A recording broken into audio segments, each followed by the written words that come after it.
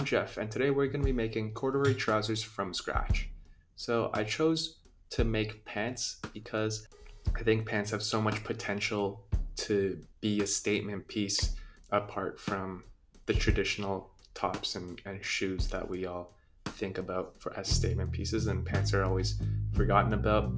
So I wanted to make some nice pants that could stand on their own and be a nice piece in your wardrobe, but also have this loud but mature feel that matches my style. So I designed this pair of pants. It's like a dark red burgundy color and I wanted to have a little bit of patchwork going on, but really I've never created any pants before, so I didn't know how to do this, but this was my idea from the start.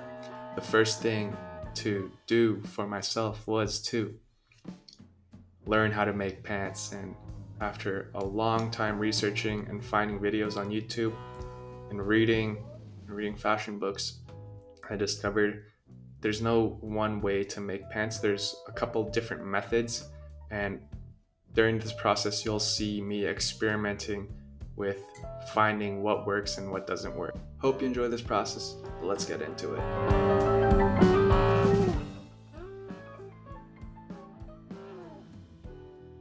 In order to bring the fashion sketch to life, we've got to transfer it onto a flat 2D surface, which will then be cut and manipulated to create that three dimensional pen. This process is called drafting the pattern. Fashion pattern is a flat piece of paper of the parts of your garment that you cut out onto your fabric. You just have to stitch those parts together to create the final garment. So what I had to do was measure the usual dimensions, the waist, the hips, the crotch depth, the length of my legs and, and all that. And I cut it out with a half inch seam allowance. So the seam allowance is that extra bit of fabric you reserve onto your pattern paper. So when you cut out the fabric, you have that ability to overlap and stitch, um, stitch on that overlap if you didn't have that overlap, you'd be stitching nothing. Um, and it gives you the same fit.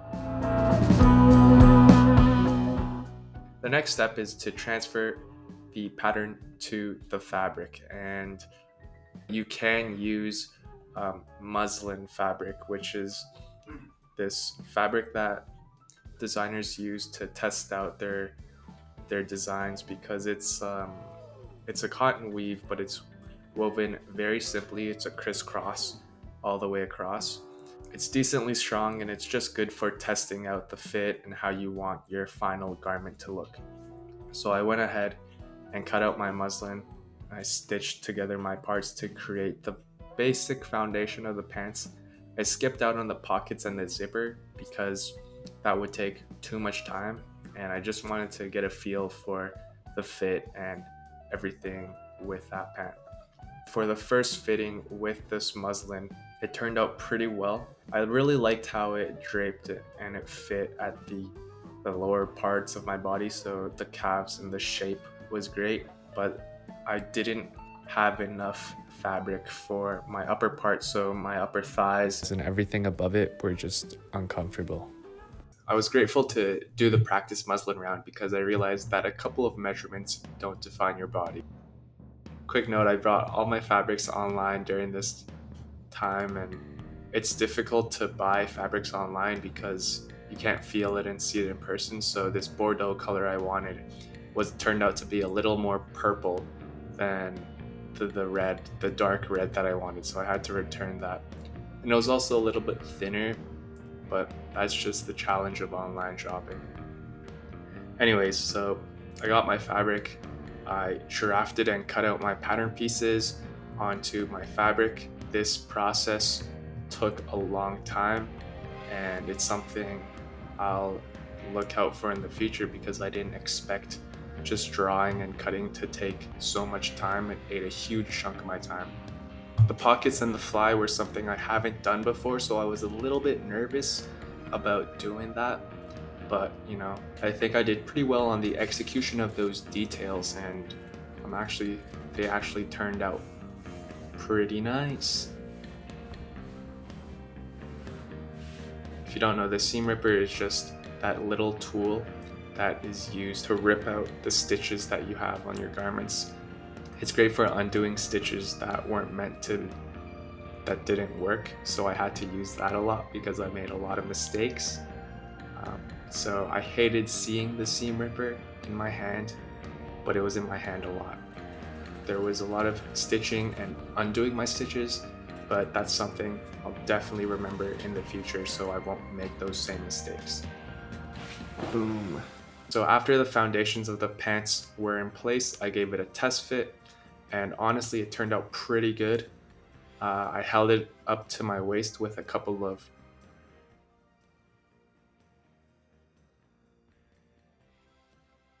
safety pins. The fabric complemented the shape because it was such a light and soft fabric that it had good flow all the way through. The trousers were a little bit wider in the leg areas. I made that conscious choice because of my muslin run. And it's always easier to remove fabric by tailoring rather than adding fabric because you can't add fabric. I was debating whether I wanted to keep that shape because it had that, you know, bagginess that kind of fit my style. Okay, so there are a couple of changes that I wanted to make at this point just looking at the footage on my phone, I noticed that there were fabric folds pointing towards my crotch, and generally that was a sign that the crotch was too tight, um, and that for my pattern, I'd have to extend that crotch area. But there was nothing I could really do on the cutout piece because I can't. Again, you can't add fabric after the after you cut it out. But upon deeper inspection, I realized that it was just my stitching that tugged the inseams to make them fold over like that. So I, I used my seam ripper again and I went through my inseams and redid them, and that kind of fixed the problem. Another thing I noticed was that the zipper or the front fly zipper was out in the open. Um, and that was just because I didn't have enough fabric again. I thought I could change it, but I tried and I realized that it was because I hadn't cut out enough fabric on the front left piece of my pant. I had to learn to live with it. But with all happy accidents, it soon grew on me and I actually liked how it looks now.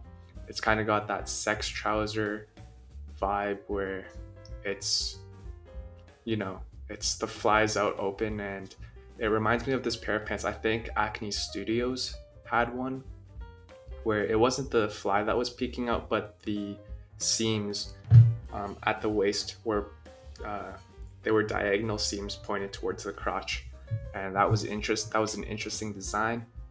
Um, the fly that I made kind of reminded me of that.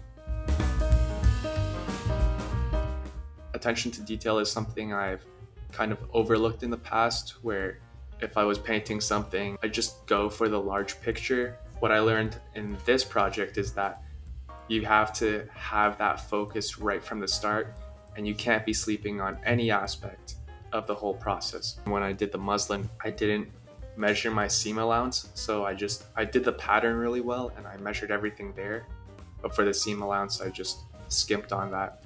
And when I ended up sewing it, I didn't know how much space to allocate, and that really threw off my pattern. The next lesson I learned was that there's so many skills that I have to learn drawing, drafting, cutting, ironing, how to do darts, how to do zippers, how to do buttonholes and buttons, um, and all of that, all that knowledge you need just to create a simple garment like a pair of pants, which I realize aren't that simple anymore, um, is something that really opened my eyes. And it's it's a fun process, but it's definitely something to that takes time to learn everything um, just to be adequate enough. You don't have to be a professional at ironing. I don't think there's there's ironers out there but you, you have to be adequate enough to know what you're doing at a comfortable level. So with the finishing touches the corduroy trousers were ready for wear